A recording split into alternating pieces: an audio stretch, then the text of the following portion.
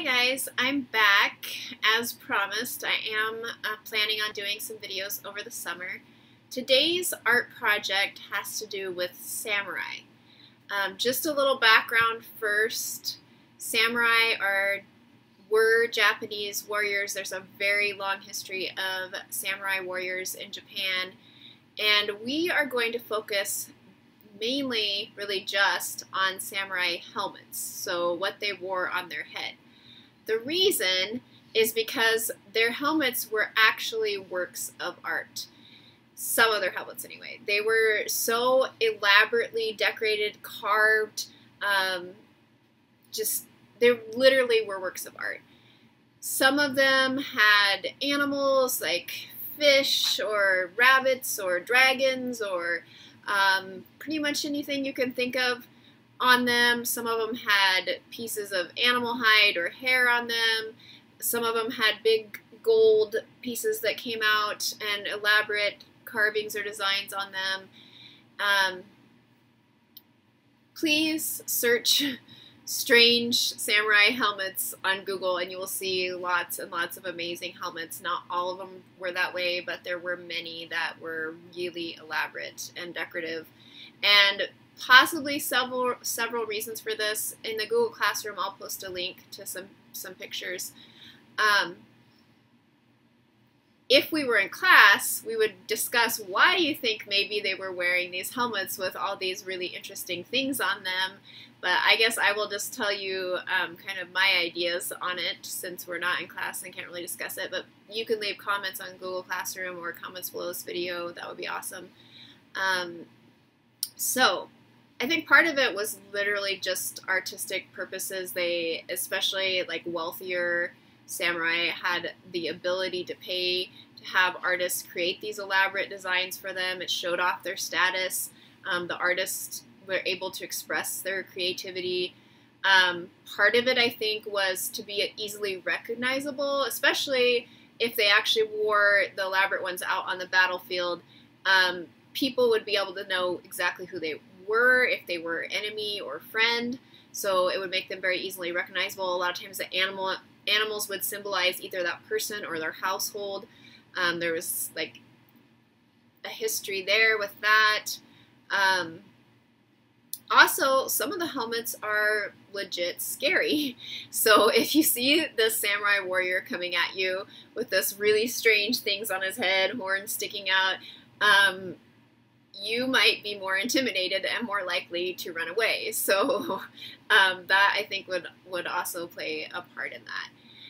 So these amazing helmets. What we are going to do today is to make a helmet out of origami. So our helmets will be made out of paper and it will look kind of like a samurai helmet. Um, I think this is very fitting since origami originated in Japan. Some of the earliest origami were actually made by samurai to give to other samurai as like good luck charms, kind of things to take with them that was that were supposed to help them stay alive in battle. So um, I think it's very fitting that we are doing origami in our representations of the samurai helmets. So today we are going to do a, I will show you guys a small samurai helmet made out of just regular origami paper. You can make it out of any kind of paper as long as you make it to a square. And then I'm also going to try and make a giant origami helmet out of newspaper that you could actually wear on your head. Um, this one will be about the size, please don't torture your pets, but this one will be about the size that would fit like a cat head. Um, and this one hopefully will be a size, might actually be bigger than a human head. I don't know, we'll see. I've never made one quite that big. I've made some bigger ones, but I've never made one quite that big. So um, we'll see how big it ends up being um, when we're all done. Okay, let's get started. Okay, this is what our samurai helmet is going to look like when we are all the way finished with it there's you can see there's an opening on the bottom. Um, if you do not have a colored sheet that has white on the back or two different colors on one, you know, one side is one color and one side's the other, then this part will be the same color as the top of your helmet. So I mentioned in the bit earlier um, that a lot of samurai helmets had like gold pieces that stuck up on either side. Sometimes they had horns, and so these are represent representing that these folds that, that come up on the sides of the helmet. And we're not really doing the bottom part of the helmet. They had armor attached around behind it that hung down behind it. And these helmets don't really have that. There's just the top part of the helmet. Okay, let's go ahead and get started. So the first thing you're going to do is, like many, many times in origami, you're going to fold your paper in half diagonally, match up corner to corner, crease it,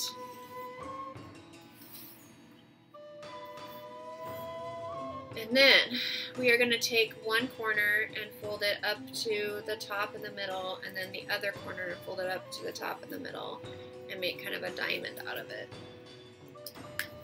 So there's one fold. Fold the other one, try to line it up as close as you can to the middle. Now, go ahead and turn your diamond around so that these flaps are at the bottom. And you're going to fold those flaps up to the top. So you're kind of folding that whole side in half.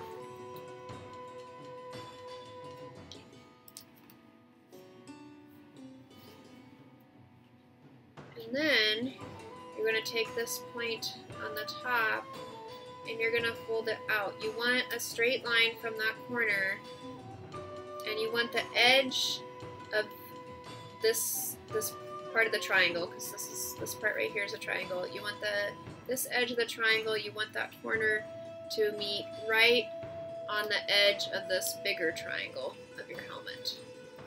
So you're gonna fold this flap down and try to make it so that the point is exactly meets with this point and so that this point meets exactly on the edge.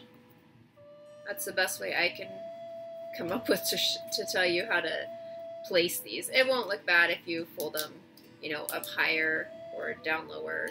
Um, that That's fine too. This next fold is also kind of a, a guessing fold. Like I would call it, um, because there's nothing exactly to line it up to. So you want it, you know, a ways down from the top, and um, so not like really close to the top, so you have hardly any space there. Not really close to the bottom, so that you have a huge space there. Try to have it kind of in the middle, so that you have uh, some it's some space around the edges. And then you're gonna fold that crease down. Then you'll notice that it's not lined up even. If it was lined up evenly, it would cover the whole triangle, right? But it's not lined up evenly. It's folded down from the triangle. So you have this little piece that hangs down under the edge of your triangle, and that you are going to roll up. You're going to keep this part fold, paper folded together under and just kind of roll it up and crease it I can see mine is not exactly straight because it doesn't quite meet the edges of my helmet, but it's to have to be good enough, I guess. Then you're going to take this bottom triangle and fold it up all the way as far as you can get it over that triangle. Open that back up and you'll have this little pocket here and you want to tuck this triangle all the way up inside of your pocket so that you don't see it anymore. And that is it. It's very simple. That's that is how you make an origami samurai helmet. Okay, so and like I said, my cat is not inside, but and she would be really mad if I tried it on her. But I think it would uh, fit her about perfectly. So now we're gonna try to do a giant one. If you had um, some like an old dream catcher, an old uh, um, advertiser. You could use those, any kind of newspaper or large paper, or just like sheets of paper. You could tape them together to make a big one. Um, to make it this big, you'd have to tape several together, but could try like four sheets of paper. It just needs to be a square. So this sheet I have now is not a square, and how I know that is that when I fold this corner down and line it up exactly with this edge here, there is a big piece that doesn't meet on the bottom. So I'm going to go ahead and cut this um, bottom edge off in line with the paper folded over. And this newspaper is a little worse for the wear, but I think it'll still work, hopefully.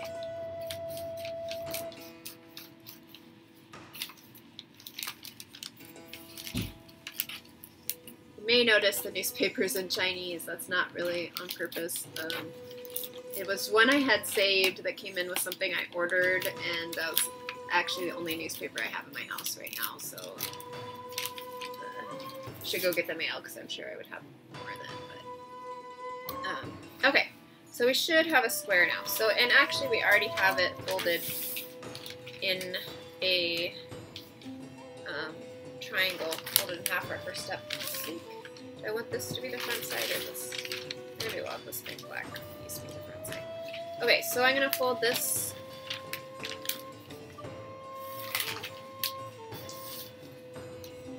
corner up to the middle.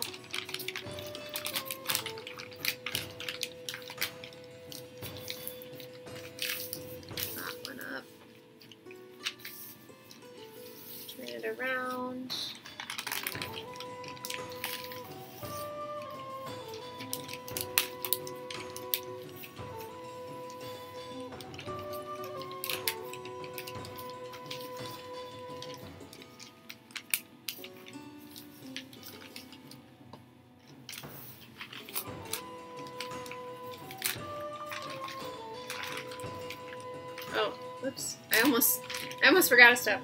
I was gonna fold this all the way up and tuck it in, but we need the bottom part. So we fold that first flap up and then roll that up bottom up. That looks more like a samurai helmet. Now we can fold this all the way to the top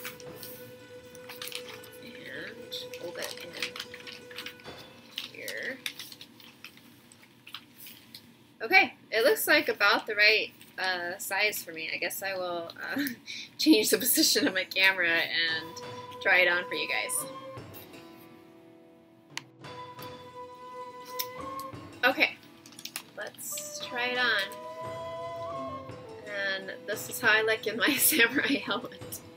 Um, actually, I was able a long time ago, before you guys, before my students were born, um, to take a trip to Japan and visit some of our friends there, and we happened to be there during a samurai festival.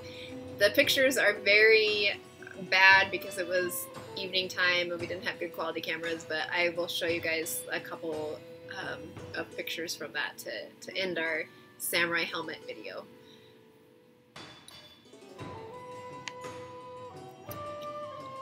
Okay, let's start out with this picture because um, it's the only one I have actually of somebody dressed up as a samurai. You can see that they're playing drums in the background. Um, there was lots of people dressed up as samurai. Um, there was, let me go back this way, there was ladies that danced in kimonos um, during this parade and then afterward there was a big like food festival, kind of like a fair with lots of um, like street vendors selling different kinds of fried food and all kinds of foods. So um, that was the Samurai Festival we visited. If you guys want to see a picture of me, oh, there we go. so me when I was a lot younger with my husband and some of our friends in Japan. Um, okay, so that's enough of that. Hope you guys enjoyed the video and see you guys next video.